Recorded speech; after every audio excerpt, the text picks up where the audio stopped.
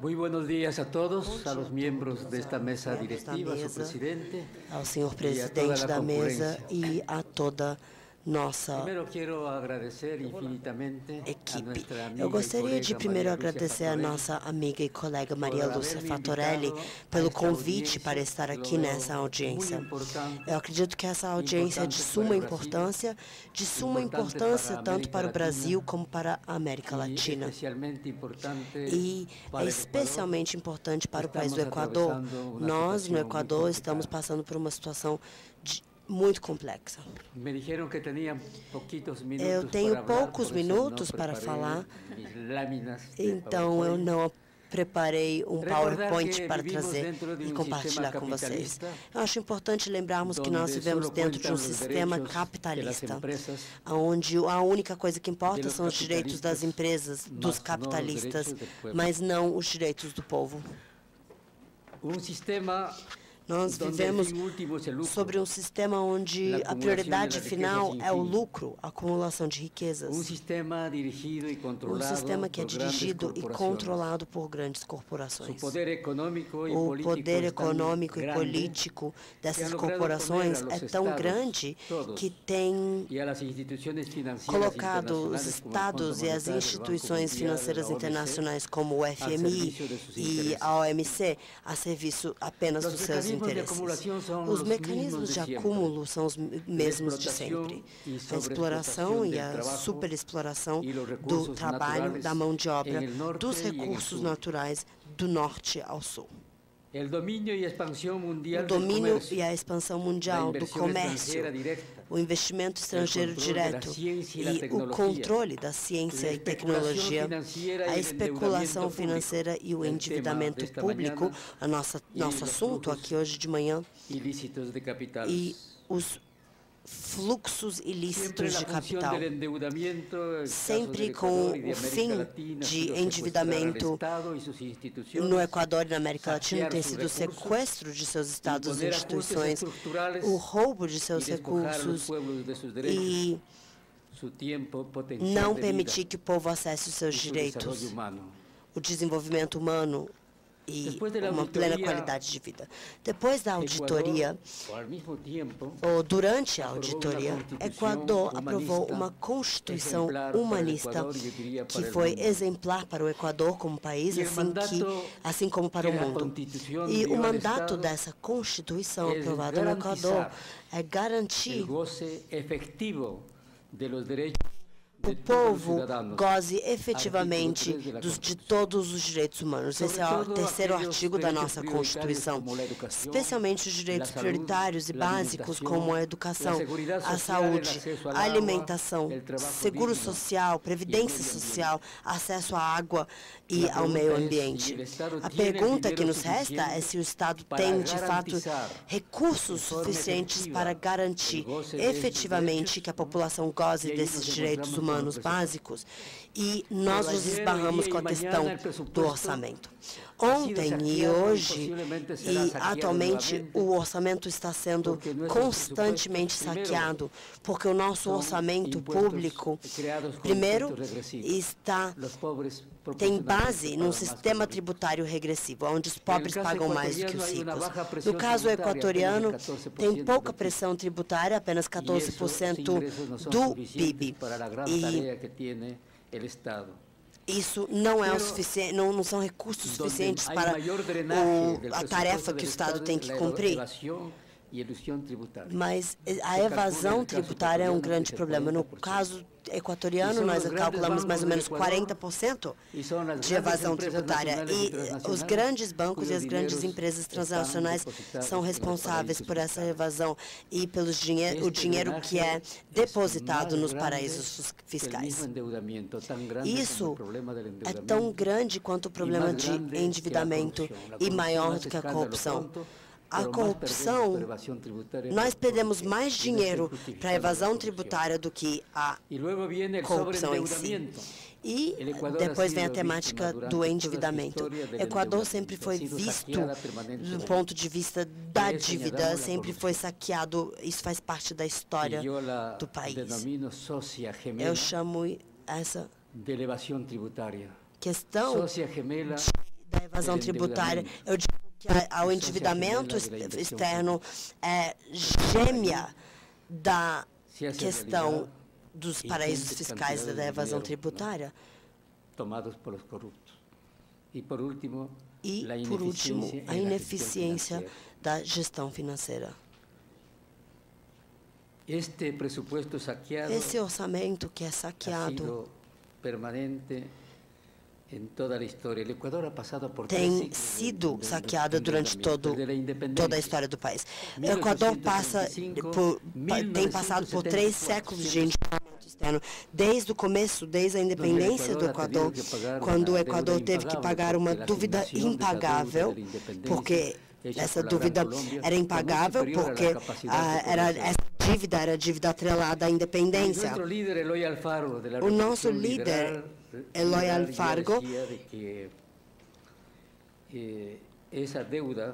dizia que essa dívida foi praticamente fruto da corrupção de todos os governos desde então.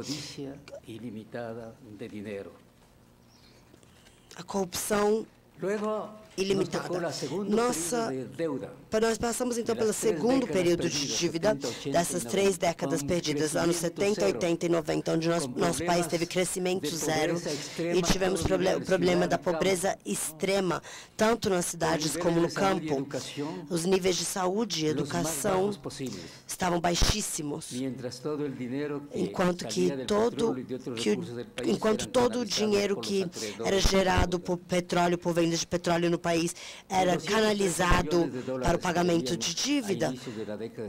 Desde a nossa dívida, a nossa dívida subiu para 16 bilhões em três décadas, o que quer dizer que durante esse período a dívida cresceu em 80 vezes, se multiplicou e pagamos mais. Desde os anos 70, o credor dominante da dívida pública no Equador foi o ban eram os bancos privados, os petroleiros, o Fundo Monetário, considerando que Equador era um país de renda média. São eles que nos saquearam durante 30 anos. E foram eles que nos roubaram, os bancos privados foram responsáveis por esse saqueamento que aconteceu nessas três décadas. O Equador pagou uma quantidade muito maior do que essa dívida de 81 bilhões. De acordo com os dados sobre o orçamento, o pagamento do serviço da dívida absorveu 75% dos do rendimento enquanto que total. Não houve nenhum investimento em infraestrutura, saúde e educação. Tudo era direcionado à dívida externa. Isso é o princípio do que a nossa colega Maria, companheira Maria Lúcia, nos ensinou aqui. A malnutrição crônica afetava 70% das crianças em, no campo durante essas três décadas de dívida. Anemia afetava 50% dos, das crianças menores de um ano e 40% das mães grávidas. A educação média no campo era de apenas quatro anos. Eu estou falando de dados de 10 a 15 anos atrás. O rendimento médio na, em matemática era de 8% na maioria das escolas. Quando isso foi a situação até o ano 2000, quando o Papa convocou uma luta contra a dívida. E no ano 2000, o Equador criou seu jubileu e nós nos associamos a todos os movimentos que lutavam contra a dívida. Um, existiam muitos, muitos movimentos, um deles era a auditoria da dívida, auditoria cidadã da dívida. Começamos a auditar a dívida e o Estado começou a ter vários benefícios decorrentes desse processo. Essa auditoria foi... Três minutos. foi histórica. Essa auditoria foi histórica no Equador, porque nós vimos a redução ao apenas 10% do PIB em 2009. Esses são os dados. Então, a dívida comercial foi reduzida em 90%. E um isso foi feito por um governo revolucionário, um governo que nos primeiros quatro anos fez obras de desenvolvimento social incríveis. Surgiu, nasceu a esperança no Equador nesses primeiros quatro anos de governo. Infelizmente, todos esses trunfos, toda essa esperança acabou sendo avassalada a partir do ano de 2000 12, porque Equador começou a se endividar outra vez. E de forma, da, de, da forma mais agressiva em toda a sua história. Como a Maria Lúcia disse, você, quando você parou de analisar a dívida de Equador, 7, mil, 7 bilhões 7, mil bilhões, 7 bilhões. E essa a dívida aumentou incrivelmente. Você deixou, quando você estava olhando a situação, estava a dívida interna, desde então subiu a 15 bilhões. Nós nunca passamos disso na história, mas agora temos 15 bilhões.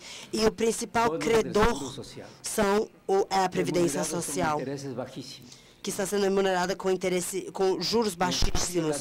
E em contra isso, a dívida externa já, também já aumentou em 50% e tem uma média de 19,5% e taxa de juros que no Peru e no Chile tem um bônus de 4% de juros.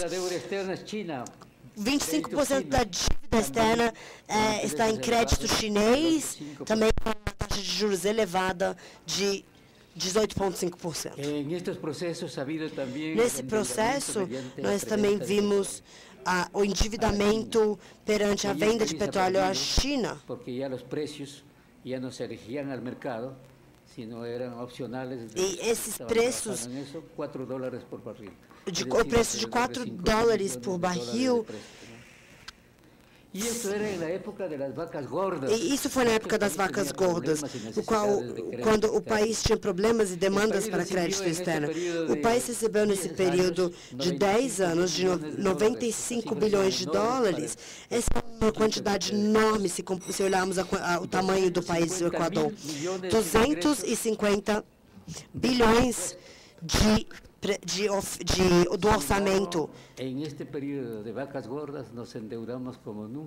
Apesar de, nesse período de vacas gordas, nós nos endividamos como nunca fizemos antes na história e estamos enfrentando um problema enorme, possivelmente que não há solução. Eu vim até aqui para dizer a Maria Lúcia que nós precisamos urgentemente fazer uma nova auditoria da nossa dívida pública. Eu gostaria de agregar o fator da corrupção. Corrupção não é a má conduta dos recursos financeiros. Corrupção é um sistema instaurido, um sistema que está presente todos os níveis de administração pública. Corrupção rouba aos pequenos e rouba aos grandes. É lógico que isso acontece em proporções diferentes, mas esse esquema de corrupção está matando o nosso país. Como vocês muito bem sabem, esses esquemas de corrupção envolvem altas autoridades, vice-presidentes, dirigentes de todos os esquemas de corrupção. E não podemos descontar a classe média e, e o setor público que também é corrupto, também pode ser corrupto. Eu analisei apenas 22 casos de centenas de casos. Eu vi que nesses, dois, nesses 22 casos de investimento foram investidos 22 12 bilhões de dólares em obras públicas. Desses 12 bilhões, 6 bilhões foram comidos pela corrupção. Essa é a triste realidade do Equador.